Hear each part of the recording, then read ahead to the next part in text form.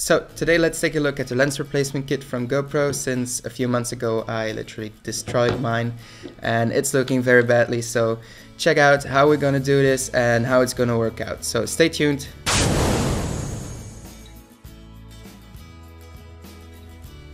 So yeah, first what we're gonna do is just remove all of the things we don't need like the GoPro itself, just put that aside and the back door since we're not to use that. And then just leave everything behind so we can now start looking at the standard housing lens replacement kit by GoPro and see all the things that are in there.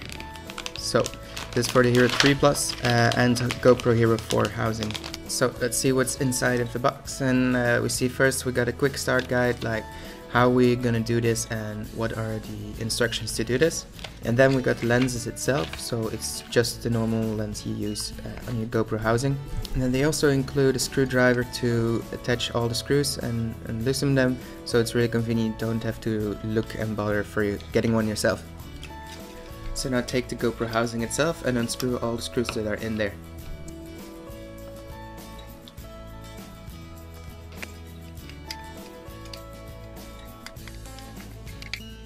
And once you've done that, it's fairly easy. Just take out the lens uh, that's been damaged out of the housing and you can replace it with the new one. So first you have to remove the rubber seal that's inside of the lens. When you don't use this one, uh, there's another one been given with the kit, so you don't need to use that one anymore. And then just leave this uh, lens apart and take out the new lens we're going to use and also a new rubber seal to close it. So what you're gonna do next is remove all the screws that are inside and just push them out uh, with the help of the screwdriver and just just get them out of there.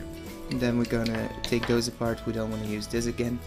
Uh, we use the ones that are given with the kit itself. So let's seal off this one so we don't lose our other new ones and take out the rubber seal since this is the protection uh, for your housing to not get all wet when you're going underwater or something. So let's get that away and now let's refinish this and put everything together. What you also want to make sure of is when, when you attach the rubber seal that there are no dust particles in the way because this will get no real closure and water can get inside of the housing and we don't want to have that. So finish this, now it's just basically uh, lining things up and attaching the lens to the housing and then we can get our screws out and rescrew them in and we have a finished product.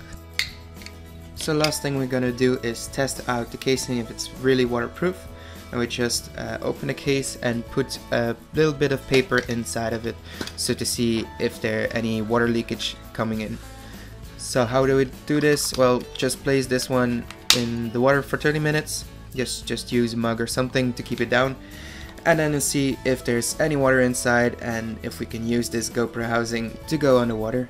Let me know in the comments below if you had any problems with this. Normally you should be fine because it's not that hard to do. Uh, maybe if you're underage, get some of your parents to help you out and everything will be okay. What's also really good in this one is that you have two lenses inside so you will always have a spare one in case something else happens to your GoPro. So really thank you for watching guys, it's been a blast making these videos. If you have any ideas for new videos or you want to see something covered, just hit me up in the comments below. And as always, if you like this video, please thumbs up and subscribe if you haven't already, because we have something really cool coming up in the next few months. So see you next time at Lucky Studios.